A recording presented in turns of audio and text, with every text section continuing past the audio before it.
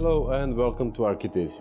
In this tutorial I'm going to show you few very useful things about the walls and about the 2D profiles in Revit and how you can actually explore and open the new world of modeling and doing things in Revit with using a very simple 2D profiles. I hope that this video is going to, let's say, open your mind and help you doing the better things in your Revit projects.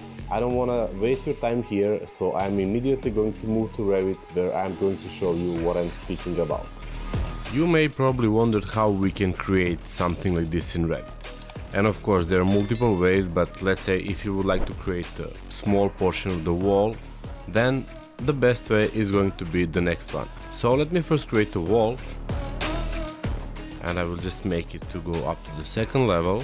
And uh, then when uh, we are in 3D if we go to the wall we will see that we have wall sweep and wall reveal options as available. So I will just go to the wall sweep and create one here and you see it's going to make a cut in our wall. When I select this and when I go to edit type I will see that it, it's used default profile which comes with a metric template. But what we need to do right now is just to create our custom profile and to do that you need to go to the new family and we need to pick profile reveal. It's this one. And I'm just simply going to create a triangular form which is going to cut our wall. And let's just make it to go I don't know 40 let's save as this file. I will name it as 01 and we'll just load it into the project. So in the project I will select the reveal we placed at the beginning. We'll just go to edit type and we'll duplicate it. So we'll name this one as 01 and for the profile I'm going to put the profile I just made. So you see that we got triangular shape like the one we have here but now what we have to do is just to create this repetition and I'm going to show you how we can control that repetition as well. So let's say that from the plan view I just would like to move this to start from here. And then when I select this uh, reveal I will go to the modify and then to array. We'll put the number of 10 of them let's say to go to the second one and we'll have this group and associate checked.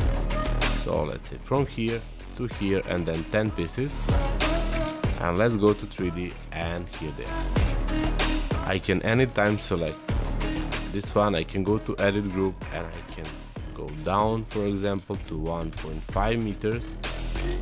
We'll click find and you see that the group is followed. The reason why I can now let's say also change the number of them on 20 is because I grouped and associated them when I was doing array. So let's say that this one is done, but let me unlock you the power of 2D profiles. You can, for example, very easily make this one as well. And let's say that I'm going to the family and I'm just going to create a profile which looks like this. So let me just make this to be, I don't know, 15 total and then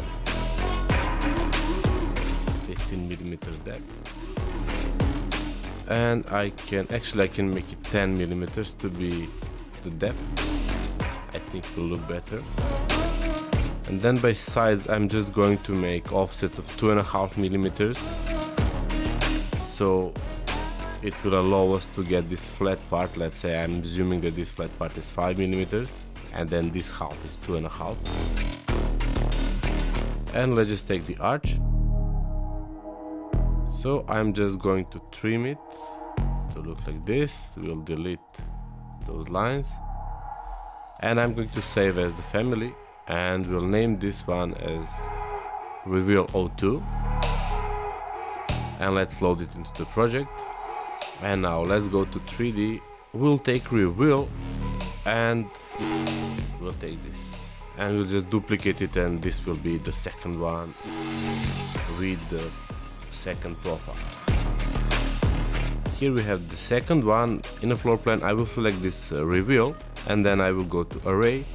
We'll put the number of 10 again, but uh, with unchecked group and associate. So from here, then 50 and we'll get 10 of them now if I grab this one and would like to decrease the height on 2 meters you see that the other one doesn't follow also I can move this one up to there so you see that nothing happens and the reason is because they're ungrouped and unassociated while if I take this one here you see that our distance between them is reflecting and the reason is because they're grouped and this one are not grouped.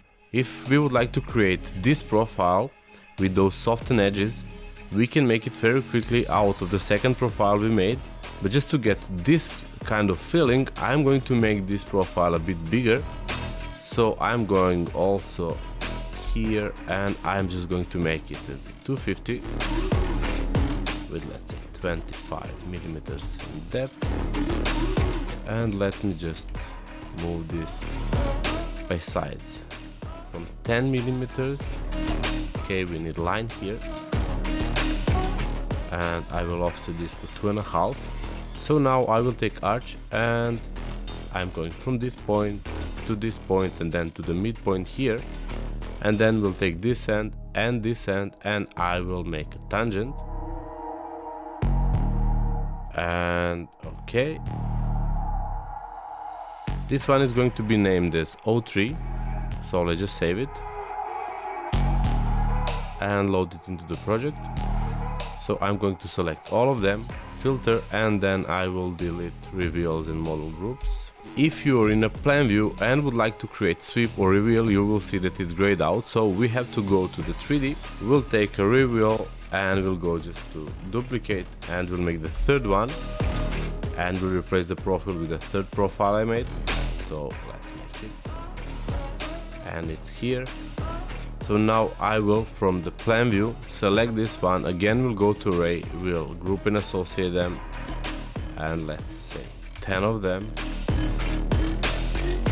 to the endpoint and see and if we would like to have the, more of them we can just increase the number to let's say 25 27 28 so you see that we made the same wall as this one here using the reveal function. And you know if you would like to make the whole building using the reveal I will not suggest you that but if you're going and do the portions of that it's going to be quite useful.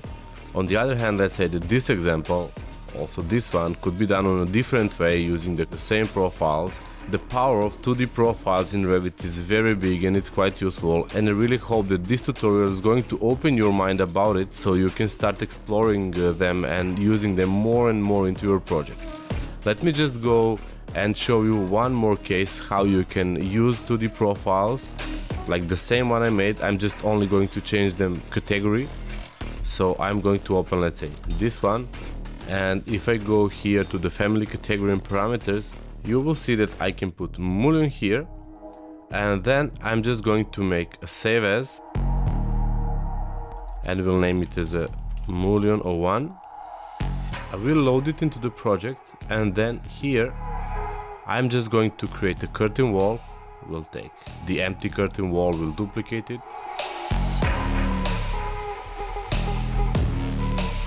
for a panel let's take the empty one and then let's put the let's say this one. For the vertical mullions with the distance of I don't know 100 millimeters and let's create the wall here. Then we need to load our profile so I have to select the mullion.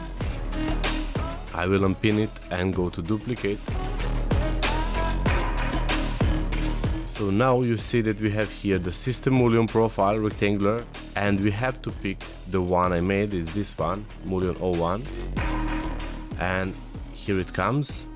Uh, we don't like the rotation we have so I'm just going and I'm going to do rotation in a family for 90 degrees.